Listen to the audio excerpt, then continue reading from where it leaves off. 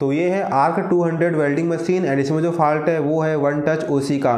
तो ऐसे फॉल्ट को कैसे रिपेयर करना है फॉल्ट को कैसे फाइंड आउट करना है, पूरा सिखाऊँगा, पूरा बताऊँगा आपको स्टेप बाय स्टेप बट उससे पहले आपको दिखा देता हूँ एक बार चालू करके मशीन को, कि इसमें किस टाइप का यहाँ पर ओसी का इंडिकेटर यहाँ पर चालू हो जाता है। तो मैं आपको सामने यहाँ पर प्रैक्टिकल करके दिखा देता हूँ। तो ये रॉड मैंने यहाँ पर लिया हूँ, आप देखना, यहाँ पर एक से दो बार में यहाँ पर आर्क बनेगा देन उसके बाद यहाँ पर ओसी का इंडिकेटर यहाँ पर चालू हो जाएगा, आप देख पा रहे होंगे। एक बार आर्क बना, दूसरे बार यहाँ पर आर्क बना और तीसरी बार में पर उसी का इंडिकेटर पर चालू हो चुका है, आप देख पा रहे होंगे। ये देख सकते हो यहाँ पर। एक से दो बार टच करने में हमारे यहाँ पर उसी का इंडिकेटर पर चालू हो जाता है। सबसे पहले आपको मालूम होना चाहिए जो आपका उसी का इंडिकेटर है, वो यहाँ पर किस कारण से चालू होता है। एक तो आपका डायोड यहाँ पर शॉर्ट होगा या ओपन होगा, या तो आपका आई आईजीबीटी यहाँ पर शॉर्ट होगा तो हमारा उसी का इंडिकेटर पर चालू हो जाता है। अगर आपको उसकी रिपेयरिंग देखनी तो मैंने आई बटन पे लिंक दिया हूँ। बट याली मशीन में जो फॉल्ट है, वो दूसरा है। तो मैं आपको बता देता हूँ, ये जो वायर आप देख पा रहे हो उसको मैंने यहाँ पर चेंज किया हूँ। ये वायर हमारा फीडबैक का है, जो कि संट से जाता है। ये हमारा संट है, आप दे सकते हो। ये आपको हर वेल्डिंग मशीन में देखने को मिल जाएगा। 90 परसेंट वेल्डिंग मशीन आपको इस टाइप का देखने को मिल जाएगा, जो कि हमारा संट कहलाता है। इसमें दोस्तों दो पॉइंट होते हैं स्टार्टिंग का और एंडिंग का। ये दोनों पॉइंट हमारा फीडबैक रहता है, जो कि हमारे ड्राइवर कार्ड में जाता है, जहाँ पर हमारी सी ए इकतीस, चालीस आई सी रहती है। इसका जो पहला ट्रैक और लास्ट वाला, दोनों ट्रैक हमें जाता है सॉकेट से, जिसका मैंने यहाँ पर वायर को चेंज किया हूँ। मैं आपको दिखाता हूँ जो हमारा संट का वायर है, वो कौन से सॉकेट से जाता है। यहाँ पर आप देख पा रहे होंगे मतलब टॉर्च को थोड़ा ऊपर कर देता हूँ। इस तरीके से।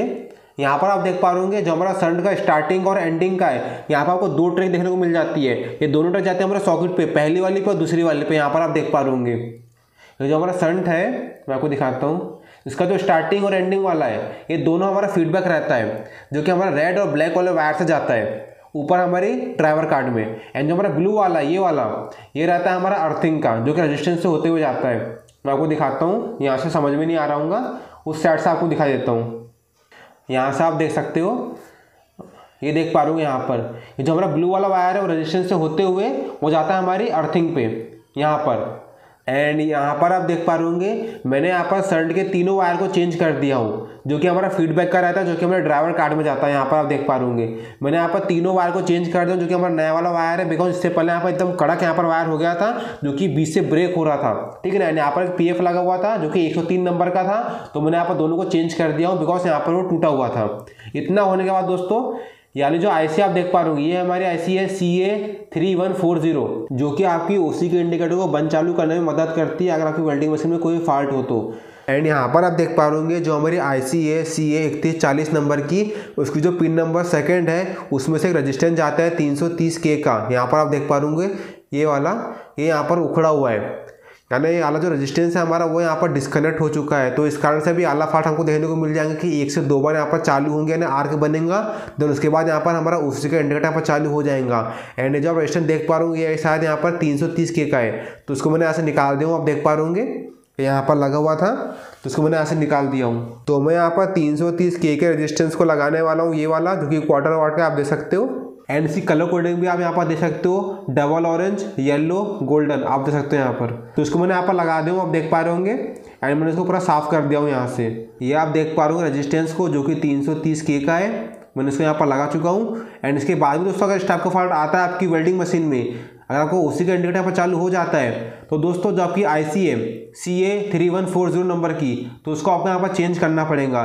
बिकॉज़ अगर आपको डायोड ओके होंगे संट ओके होगा फिर भी स्टाफ का फॉल्ट आता है तो जो आपकी आई सी वो यहाँ पर ख़राब होती है। यानी C A three one four zero number की हमारी आई सी है ये वाली, जो कि यहाँ पर नाम नहीं लिखा हुआ है, इसका नाम यहाँ पर मिटका हुआ है। तो मैंने आपको नंबर यहाँ पर बता चुका हूँ। तो मैं यहाँ पर रॉड को मारता हूँ, वो देखता हूँ जो हमारा आर्क है, वो यहाँ पर प्रॉपर बनता है कि नहीं बनता एंड जो हमारा उसी का इंडिकेटर है, वो यहाँ पर चालू तो नहीं होता। तो मैं आपको सामने मार के दिखाता हूँ प्रैक्टिकल करके। मेरी उतनी हैबिट नहीं है यहाँ पर वेल्डिंग मशीन चलाने की बट मैं रिपेयर ज़्यादा करता हूँ। तो मैं आपको थोड़ा सा दिखा देता हूँ चला के। देख पा रहे जबकि इससे पहले यहाँ पर दो तीन बार में ही हमको यहाँ पर उसी का इंडिकेटर देखने को मिल जा रहा था। एंड यहाँ पर आप देख पा रहे हो, यहाँ पर प्रॉपर हमको आग देखने को मिल जाती है। ये देख पा रहे मैं लंबी रनिंग मार रहा हूँ, आप देख सकते हो यहाँ पर। ये देख सकते हो यहाँ पर। मैं शॉर्ट रेंज में नहीं मार रहा हूँ, लंबी लंबी यहाँ पर रनिंग मार रहा हूँ, फिर भी हमारा जो ओसी का इंडिकेटर वो यहाँ पर चालू नहीं हो रहा, आप देख सकते हो। क्योंकि इससे पहले यहाँ पर एक से दो बार में हमको यहाँ पर ओसी का इंडिकेटर हमको देखने को मिल जा रहा था। यहाँ पर आप देख पा रहे होंगे। कंटिन्यू आपके सामने यहाँ पर रनिंग मार रहा हूँ, फिर भी जो हमारा फॉल्ट है, उसी का वो यहाँ पर चालू नहीं हो रहा है। यानी जो हमारा फॉल्ट है वो यहाँ पर रिपेयर हो चुका है। अगर आपकी वेल्डिंग मशीन में उसी का इंडिकेटर यहाँ पर कंटिन्यू चालू रहता है तो मैंने आई बटन में लिंक दिया हूँ, वहाँ पर जाकर चेकआउट कर सकते हो। तो आप लोग समझ में आ गया होगा। तो बस आज वीडियो में इतने बताना था। तो वीडियो पसंद वीडियो को लाइक कर देना और हमारे चैनल को सब्सक्राइब कर देना ताकि मैं ऐसे ऑर्डर बताते रहेंगे। सो गैस मिलता है वीडियो में।